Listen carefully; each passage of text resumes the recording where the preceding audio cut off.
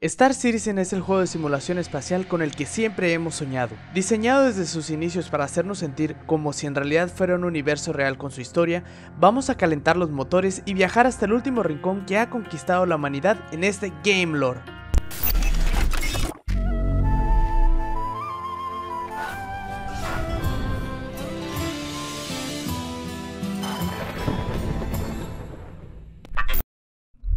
Hola, Neo los saluda y bienvenidos al futuro, donde la humanidad se ha esparcido por las estrellas. Pero esto no es el futuro que muchos esperan, mucho ha cambiado desde el año 2000. No fue hasta el 2075 donde la humanidad ve un avance en la carrera espacial donde el doctor Scott Childress y su equipo en RSI completan el primer motor Quantum que permitió viajar a una centésima de la velocidad de la luz, que en realidad es algo lento considerando la velocidad que se alcanza actualmente en las nuevas naves. No fue hasta el 2140 que tuvimos acceso a la primera nave espacial del sector comercial, la RSI Zeus.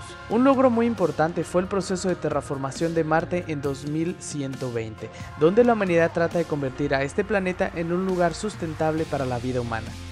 Desgraciadamente, en el 2125 la atmósfera colapsa debido a un error de cálculo en la combinación de químicos que se utilizan para este proceso. Pasó tan rápido que muchos no pudieron encontrar asilo, causando bajas por 4.876 personas.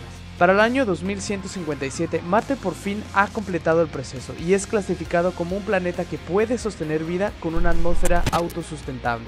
La humanidad establece su primer colonia en este planeta e inicia lo que sería un viaje rico en avances tecnológicos, pero obviamente esto no era suficiente para la humanidad. 18 años después se da a conocer un nuevo motor, acercando a los humanos a una décima de la velocidad de la luz.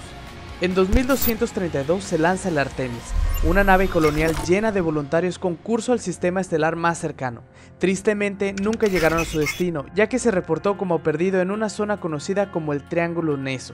Pensemos en el Triángulo de las Bermudas pero en el espacio y básicamente tenemos la idea correcta. No será hasta el 2271 donde Nick Croshaw realiza uno de los descubrimientos más importantes para la humanidad mientras explora el Triángulo Neso, el primer punto de salto.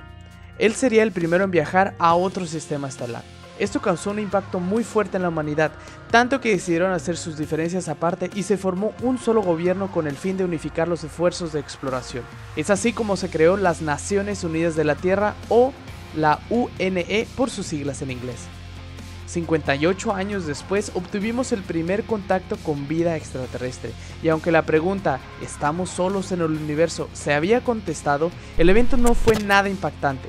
Con el constante crecimiento de la población no quedó más que seguir con el proceso de terraformación en diferentes planetas. Para el 2523 más del 70% de la población vive fuera de la Tierra. Obviamente, con este crecimiento fue necesario reestructurar el gobierno para encontrar una mejor forma de representación, y por ello se creó los Planetas Unidos de la Tierra o UPE por sus siglas en inglés.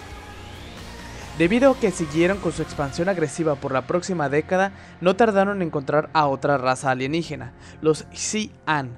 Ahora, un problema fue que los planetas que se estaban transformando eran parte de su territorio y por supuesto esto causó fricción y descontento.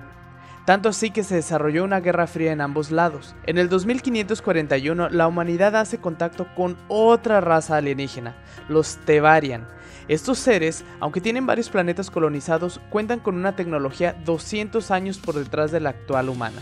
En esos momentos la humanidad decide tomar medidas preventivas contra esta raza. Bajo una serie de eventos que incluyen una guerra, cambios políticos surgen y se crea el Imperio Unido de la Tierra. La historia de Star Citizen es una de las más inmersivas hasta el momento, y por ello hablaremos más acerca de la caída del Imperio Unido de la Tierra, la campaña del Escuadrón 42 y su participación en una de estas guerras, y más. No olviden compartir algún dato que conozcan de la historia, expresar sus ideas, comentarios sobre el juego, dar me gusta y tenemos una cita en el próximo Game Lore.